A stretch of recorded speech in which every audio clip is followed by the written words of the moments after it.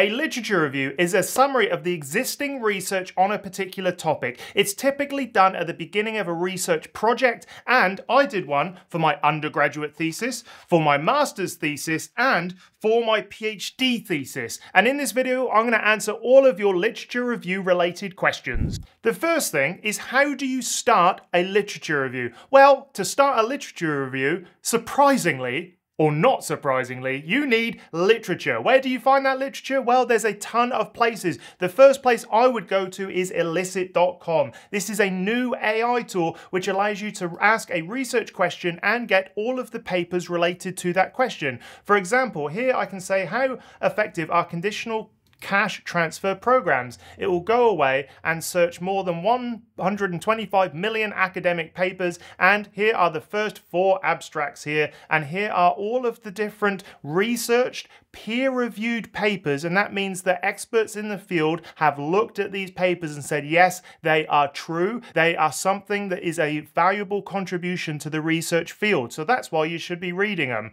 And we can go through and see that we've got a little summary and we just click through all of these and we can go and read them individually. That's one way, semantic searching. The next thing you can do is use Litmaps. Litmaps creates a map of literature for you to search. So we can go in and create a map. Here I've created a map from one of my peer-reviewed papers that I wrote during my PhD, and you can see I get a nice map of all of the other stuff that I need to read. You can do this with a single seed paper, or you can put in a load of different papers in this tab in Discover to find out a load of different papers that you need to read about. Then you can also use something like Google Scholar. This is old school. This is like OG uh, science and research. You go in, you just type keywords. For example, charge transport in OPV. So I'll click here and then here are all of the different papers that I should consider reading. Clearly you don't need to read all of them, but we'll get into that in a minute. But this is where you start. You start by searching the literature. You can have a look since 2024, since 2023,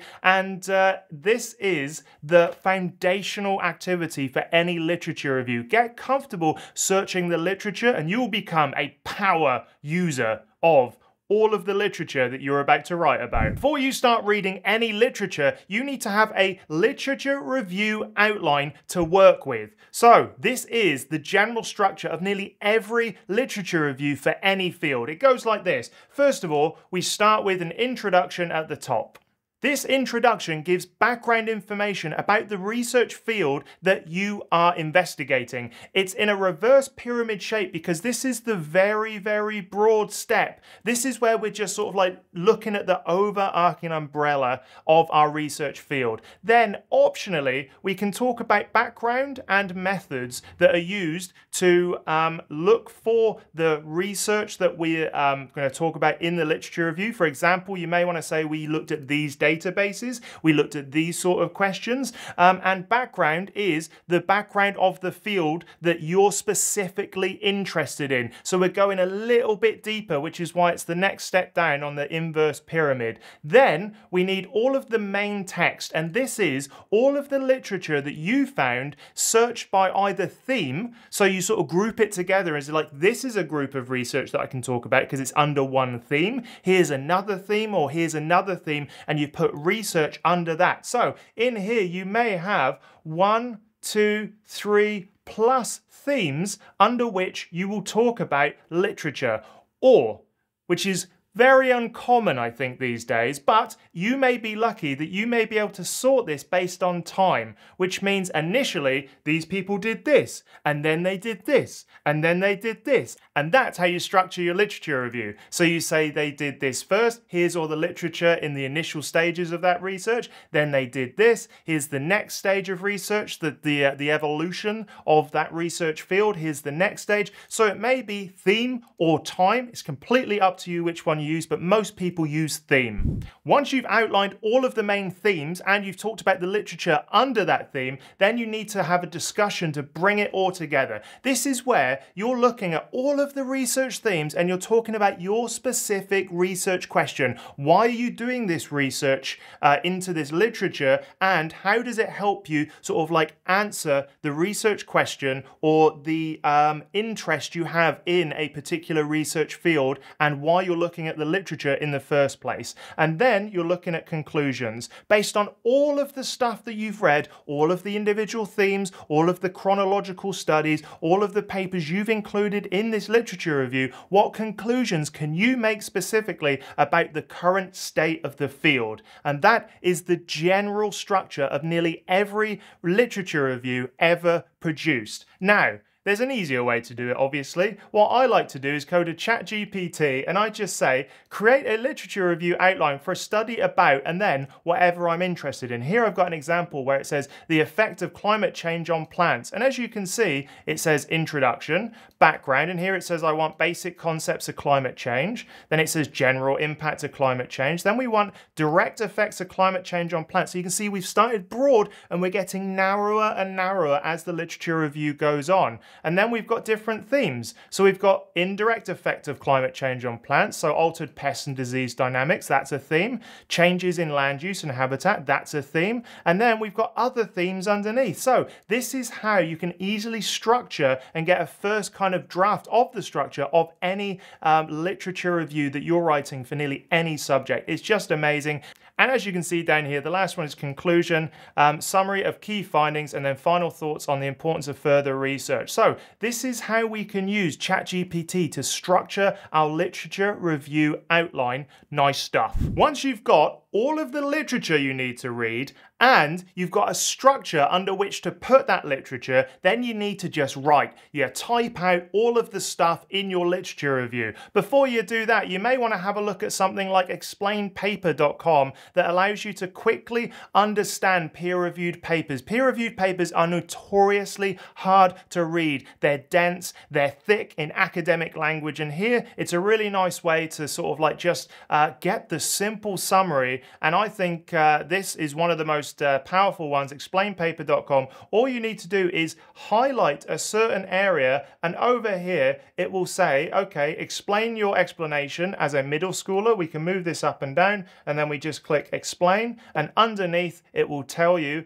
the undergrad explanation of what you've just highlighted. A really great way, particularly if you're early on in your academic career, if you're undergraduate, if you're in high school, this is a great way to unlock all of the power that's behind the the horrible language found in peer-reviewed academic papers. Once you understand what's actually in all of this, you've collected them into themes, you need to write it. There are a few tools that you can use. So you can use Jenni.ai, that's an auto writer for research papers and literature reviews. You can use Yomu.ai, and that is another sort of like auto writer for peer-reviewed and papers. But to be honest with you, the best thing you can do is sit there with a Word document, with a Google document, Google um, what do you even call that? Google Docs? Google Word? I completely forgot. Anyway, you know what I mean. You sit there with a word processor and you start typing. You put in your structured headlines and then you say under each one what literature you're going to mention and you start fleshing it out. It takes ages and ages and many, many revisions. Make sure that you get someone you trust or your supervisor to look over it as you're writing it. Maybe each chapter or each theme that you write, you get someone to look over it and then at the end they look over everything all together. It's a really, really long process. It takes such a long time. For my thesis, it probably took a good few weeks to get all of the information into a sensible structure and literature review. So here we are, here's one of the themes, overview of photocurrent generation in organic photovoltaic devices. So that's just one of many, many themes in this uh, thesis. And depending on what stage of study you're at, it could be long, it could be short, but let's talk about that next. Okay, how long should a literature review be? Well, there are no hard and fast rules, but I like to think about it like this.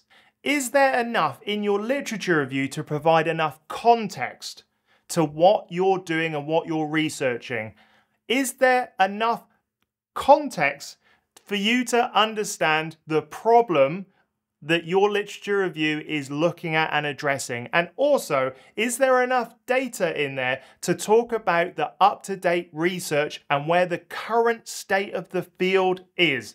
That's really what we're looking at. But here's some rules of thumb. So if you're doing it for an assignment, one thing I recommend that you look at is about 3,000 to 10,000 words. That's normally good enough to get an overview, for example. In my undergraduate thesis, it's only about seven pages. There's not much in there. There's some fancy diagrams, there's lots of references, but ultimately um, it's about seven pages. So it's not much. So 3,000 to 10,000 words is all you need for a small assignment or an undergraduate thesis. Whereas for Masters and uh, master's theses and PhD dissertations, one thing I recommend is you look at what's normal for your field.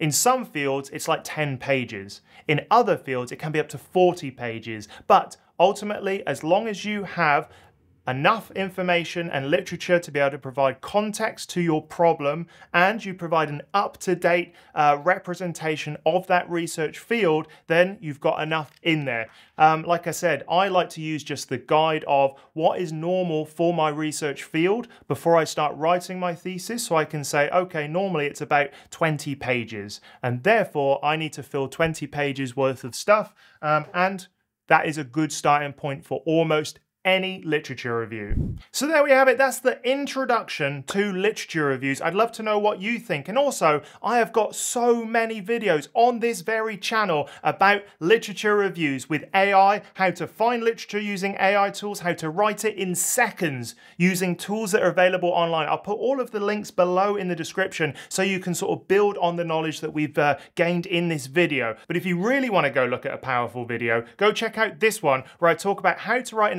exceptional literature review using AI, you won't be disappointed. Go check it out.